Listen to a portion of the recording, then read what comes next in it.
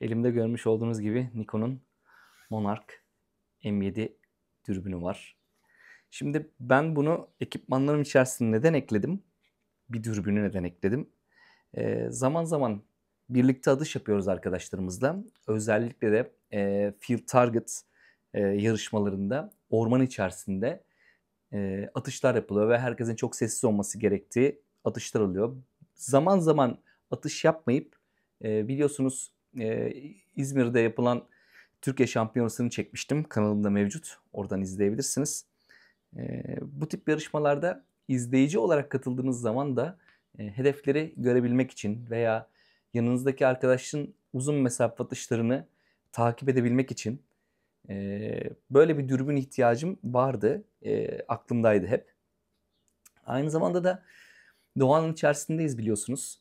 E, kuşların içerisindeyiz, ormanın içerisindeyiz.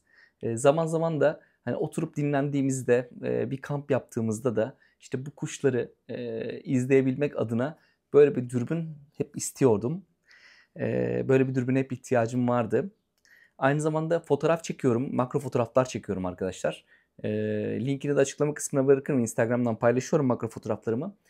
E, kelebeklerin gözlemi için de böyle bir dürbüne e, yine ihtiyacım vardı. Aslında hani bir taşta birçok kuş vurmuş oldum e, bu dürbünü alarak hem atışlarımda kullanmak için hem doğa ve kuş gözlemleri için aynı zamanda da böcek ve e, kelebek gözlemi için böyle bir dürbüne ihtiyacım vardı. Çok da iyi oldu.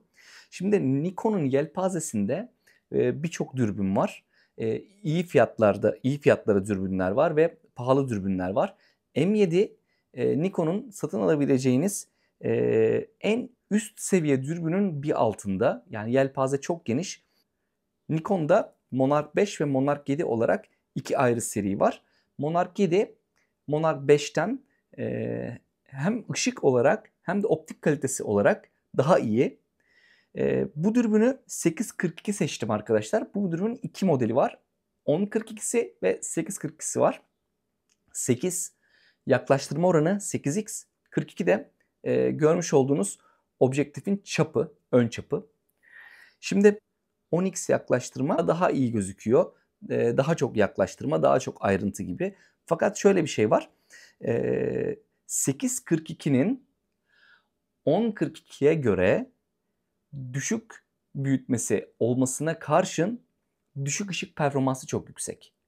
Yani özellikle alacakaranlıkta, şafak vaktinde e, yıldızları izlemek isteyebilirsiniz, aya bakmak isteyebilirsiniz. Düşük ışıkta e, 8.42 10.42'ye göre çok daha iyi bir performans e, gösteriyor. Aynı zamanda bu dürbünün 10.42'ye göre e, yakına netleme oranı daha düşük. Monarch 7'nin 10.42'si ve 8.42'sini karşılaştırdığımız zaman yakına netlemeleri 10.42'nin 2.5 metreyken 8.42'nin 2 metre. Benim ölçümlerimle 1.8-1.9 metrede sahada yaptığım ölçümler var. Yani bu ne demek oluyor biliyor musunuz? Yakındaki bir e, objeyi ya da işte bir kelebek olabilir, bir böcek olabilir. Özellikle kelebek e, gözleminde bu çok işe yarıyor. Aynı zamanda görüş açısı da e, 10.42'ye göre daha yüksek olduğu için çok daha geniş bir e, açıdan bakabiliyorsunuz. E, her iki dürbünde de 10.42'de de 8.42'de de 18 milimetrelik bir göz boşluğu var. Bu da gözlüklü kullanımlarda oldukça rahat bir e, kullanım sağlıyor. İki dürbünün iki dürbün de tamamen su geçirmez.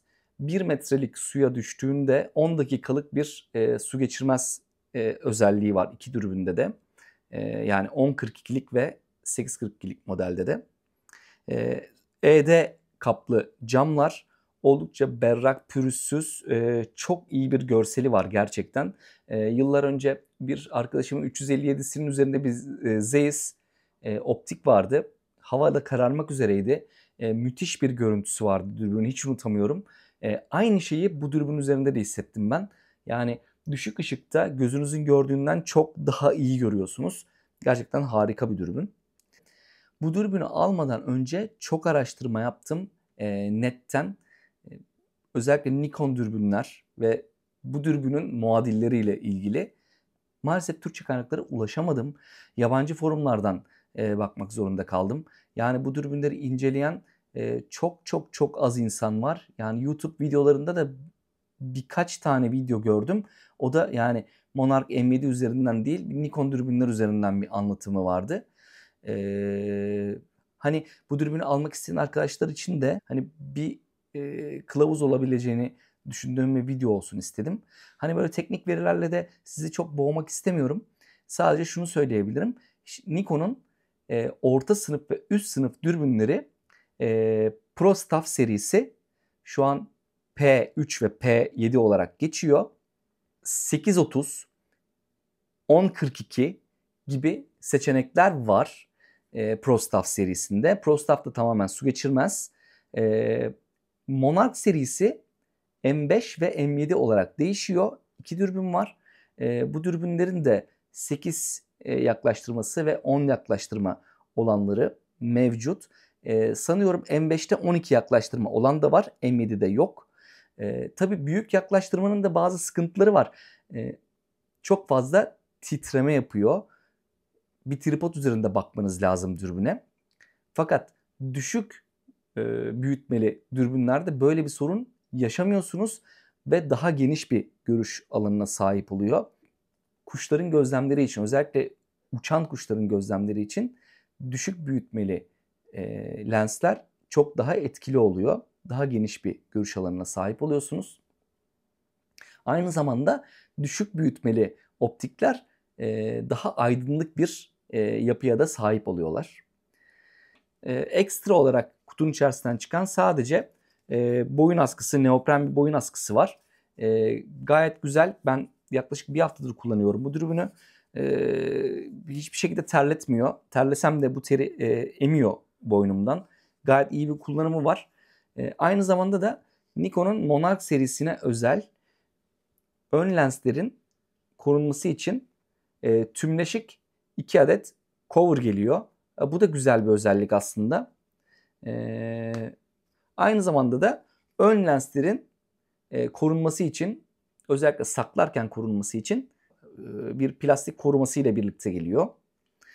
E, bir de aynı zamanda bir çantası mevcut. Onu da zaten videoda göstermiştim. Dürbünün oldukça kompakt bir yapısı var. Oldukça hafif. 670 gramlık gibi ağırlığı var. Boynunuzda size hiç yormuyor, hiç üzmüyor. Dürbünü kaldırıp netleme yapmaya başladığınız anda çok çabuk bir şekilde objeyi netleyebiliyorsunuz. Netleme halkası oldukça yumuşak. Süper ED ve e, multi kaplamalı lenslere sahip. Zaten Nikon biliyorsunuz e, fotoğraf makinesi lensleri üreten e, optik konusunda çok uzun yıllardır çalışan e, çok iyi bir firma. Kesinlikle gözüm arkada değil de acaba kötü olur mu falan diye hiç düşünmedim. Nikon dürbün alırken bunların hiçbirini düşünmedim. Gayet başarılı bir haftalık kullanımın sonucunda gayet başarılı, tatminkar ve beni gayet mutlu etti. Şu anda her dışarı çıktığımda mutlaka çantamın içerisinde, burada orman içerisinde çok fazla sulak alan var ve e, orman yürüyüşleri yapıyorum. Orman yürüyüşleri yaparken de e, kuşları izleme fırsatım oluyor. Aynı zamanda geyikler ve e, karacalar görüyorum. Bunları da izleme fırsatım oluyor. Aynı zamanda su kuşları, e, su samurları gibi e, hayvanlar da var. Bunları da izleme fırsatım oldu ve beni gayet memnun etti. Özellikle döndüğümde e, sahada atış yaparken, grup halinde atış yaparken çok fazla işime yarayacağını düşünüyorum. Özellikle uzak mesafe atışlarında peletin nereye düştüğünü e, görmemiz açısından e, çok güzel bir kullanımı olacağını düşünüyorum. E, iyi bir kullanımı olacağını düşünüyorum. Genel olarak dürbün için anlatacaklarım böyle. Eğer dürbünlerle ilgili, Nikon dürbünlerle ilgili e, kafanızda sorular varsa özellikle işte hangi mercek çapını almalıyım, hangi büyütmeyi almalıyım, hangisi daha iyi olur şeklinde kullanım senaryolarınıza göre değişecektir tabii bu. Bunlarla ilgili yorumlara mutlaka e, yazın hepsini okuyup e, cevaplıyorum sevgili arkadaşlar. E, şimdilik anlatacaklarım bu kadar. Beni izlediğiniz için teşekkür ederim. Bir sonraki videoda görüşmek üzere. Kendinize iyi bakın. Hoşçakalın.